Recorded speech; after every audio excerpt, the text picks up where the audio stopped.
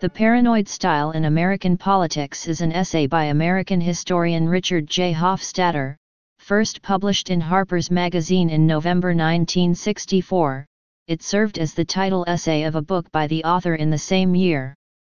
Published soon after Senator Barry Goldwater had won the Republican presidential nomination over the more moderate Nelson A. Rockefeller, Hofstadter's article explores the influence of conspiracy theory and movements of suspicious discontent throughout American history.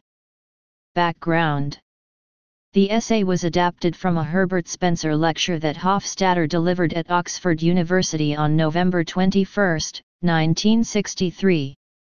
An abridged version was first published in the November 1964 issue of Harper's Magazine, and was published as the titular essay in the book The Paranoid Style in American Politics, and Other Essays, 1964.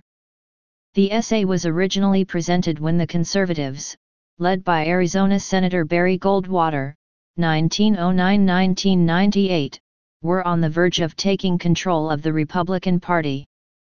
Historical themes Recurring paranoia in American politics in developing the subject, Hofstadter initially establishes that his use of the phrase paranoid style was a borrowing from the clinical psychiatric term paranoid to describe a political personality, and acknowledges that the term is pejorative.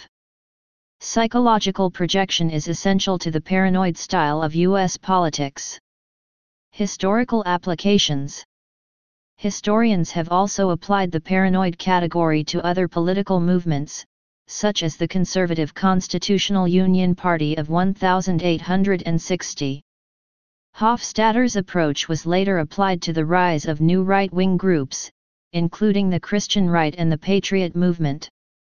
Aspects of Hofstadter's thesis have been challenged by Samuel DeCanio's 2013 article Populism, Paranoia, and the Politics of Free Silver, which argues that instead of being a paranoid delusion, the populists' position regarding bankers' use of bribes to influence 19th century monetary policy was largely correct.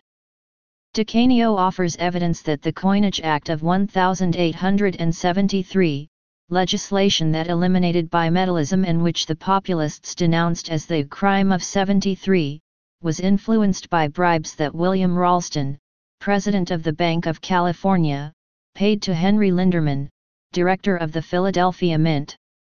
DeCanio's article includes a copy of the actual check Ralston used to pay Linderman, indicating the populists' claims were far more accurate than Hofstadter ever suspected. Legacy In a 2007 article in Harper's, Scott Horton wrote that the paranoid style in American politics was one of the most important and most influential articles published in the 155-year history of the magazine.